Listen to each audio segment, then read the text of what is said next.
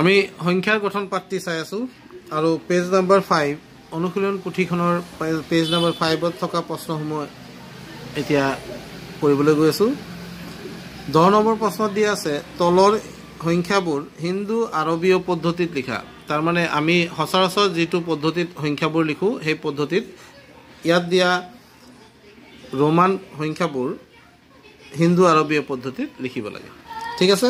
Number one ten X X V I I এতিয়া ইয়াত যি দুটা যিটো সংখ্যা দিয়া আছে এই সংখ্যা সংখ্যাটো যদি আমি লিখিবলৈ যাওঁ এক্স মানে কি? এক্স মানে হ'ল টেন প্লাছ এইটো এক্স মানে কিমান? টেন টেন প্লাছ টেন এইটো আহি গ'ল। প্লাছ ভি ভি মানে হ'ল ফাইভ প্লাছ আই দুটা ওৱান প্লাছ ওৱান যিহেতু এক্স আটাইতকৈ ডাঙৰ ইয়াত থকা আটাইতকৈ ডাঙৰ অংকটো হ'ল এক্স অঁ এক্স দুটা আছে গতিকে অংক দুটা প্ৰথমতে লিখি লৈছোঁ। তাৰপিছত বাওঁফালে থাকিলে আমি বিয়োগ কৰিলোঁ হয়। সোঁফালে আছে গতিকে আমি যোগ কৰিছোঁ।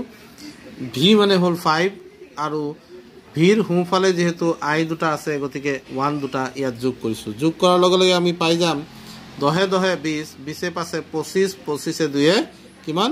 পঁচিছে দুয়ে হ'ল সাতাইছ। আমাৰ হিন্দু আৰবীয় পদ্ধতিত আমি সংখ্যাটো লিখিব লাগিব সাতাইছ নেক্সট কুৱেশ্যনটোলৈ যাওঁ। নেক্সট কুৱেশ্যনটোত দিয়া আছে চি আই ভি চি মানে কি? ইয়াত চি হ'ল আটাইতকৈ ডাঙৰ অংক আৰু এই অংকটোৱে এই আখৰটোৱে বুজায় এশ। আৰু চিৰ পিছত ডাঙৰ অংকটো কি? চিৰ পিছত ডাঙৰ অংকটো হ'ল ভি ভি হ'ল ফাইভ আৰু এই ফাইভৰ সোঁফালে যদি থাকিলে হয় আই তেতিয়া আমি যোগ লিখিলোঁ হয়। যিহেতু বাওঁফালে আছে গতিকে আমি বিয়োগ বুলি ক'ম বিয়োগ কিমান ক'ম? আই এটা আছে গতিকে আই আমি এটা বিয়োগ কৰিম। এতিয়া চোৱা এশৰ লগত যদি পাঁচ যোগ কৰোঁ এশৰ লগত পাঁচ যোগ কৰাৰ লগে লগে আমি এশ পাঁচ পাই যাম। এশ পাঁচৰ পৰা যদি এক বিয়োগ কৰোঁ তেতিয়া আমি পাই যাম এশ চাৰি আৰু আমাৰ এনচাৰটো হৈ যাব ওৱান হাণ্ড্ৰেড ফ'ৰ ঠিক সেইদৰে নেক্সটটো লৈ যাওঁ নেক্সট কুৱেশ্যনটোত দিয়া আছে X L V I X L V I ইয়াত থকা চিহ্নবোৰৰ ভিতৰত আটাইতকৈ ডাঙৰ অংক বুজোৱা বা ডাঙৰ সংখ্যা বুজোৱা অংকটো কোনটো? চিম্বলটো কোনটো? ইয়াত এক্স এল ভি আই আছে। এল হ'ল চবতকৈ ডাঙৰ গতিকে এল মানে হ'ল ফিফটি ফিফটি আমি লিখি ল'লোঁ। ফিফটিৰ যিহেতু ফিফটিৰ যিহেতু বাওঁফালে এক্স আছে গতিকে আমি মাইনাছ কৰিব লাগিব টেন। ঠিক সেইদৰে ফিফটিৰ যদি সোঁফালে ফাইভ থাকে ভি থাকে তেতিয়া আমি প্লাছ ফাইভ কৰিম আৰু ফাইভ ভিৰ ভিৰ সোঁফালে যিহেতু আই আছে গতিকে আকৌ প্লাছ ওৱান কৰিম। চ' আমি কি পালোঁ চোৱা পঞ্চাছৰ পৰা দহ গ'ল। পঞ্চাছৰ পৰা দহ গ'লে কিমান থাকে? পঞ্চাছৰ পৰা দহ গ'লে চল্লিছ থাকে। চল্লিছৰ লগত পাঁচ যোগ কৰিলে পঞ্চল্লিছ পঞ্চল্লিছ আৰু একে কিমান হ'ব? ছিয়াল্লিছ ফৰ্টি ছিক্স আমাৰ এনচাৰ আমি পাই যাম। নেক্সট কুৱেশ্যনটোলৈ যোৱা। নেক্সট কুৱেশ্যনটোত চোৱা ইয়াত দি থোৱা আছে C C L I X C C মানে কি? চি মানে হ'ল হাণ্ড্ৰেড হাণ্ড্ৰেড হাণ্ড্ৰেড দুটা হাণ্ড্ৰেড একেলগত two hundred two hundred plus fifty হ'ব। কিহৰ কাৰণে? সোঁফালে আছে। Two hundred plus fifty two hundred fifty ফিফটিৰ পিছতে চোৱা আই আছে। কিন্তু আইতকৈও ডাঙৰ সংখ্যা বুজোৱা এটা চিহ্ন আছে। সেই চিহ্নটো হ'ল এক্স গতিকে hundred hundred two hundred two hundred fifty plus ten ইয়াত গ'ল হাণ্ড্ৰেড দুটা আছে হাণ্ড্ৰেড লিখি ল'লোঁ।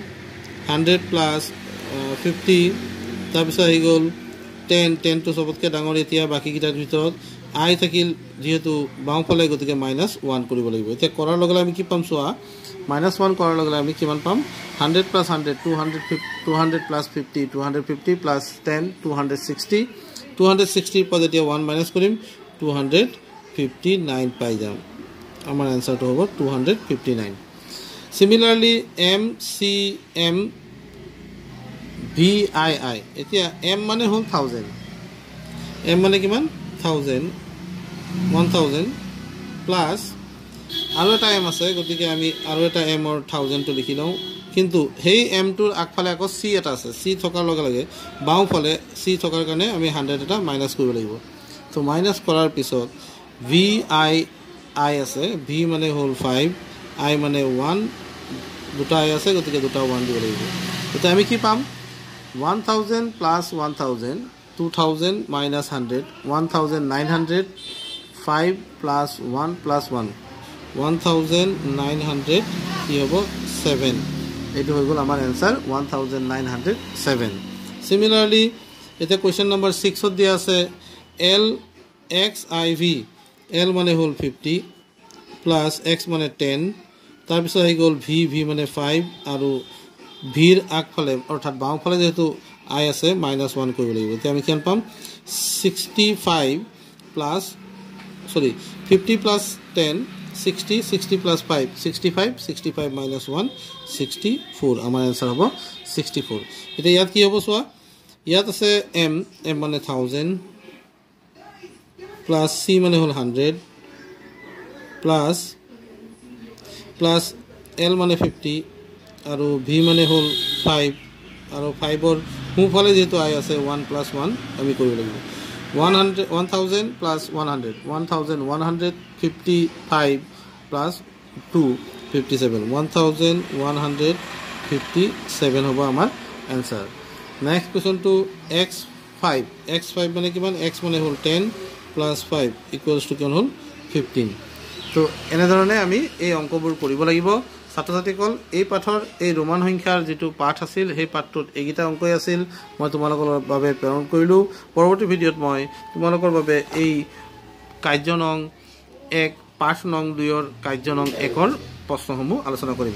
সংখ্যাৰ বিভিন্ন প্ৰকাৰ ইয়াৰ ইয়াত বৰ ধুনীয়া ধুনীয়া অংক কিছুমান আছে। তোমালোকে মোৰ চেনেলটো চাই থাকিবা আৰু এই অংকবোৰ শিকিবলৈ চেষ্টা কৰিবা।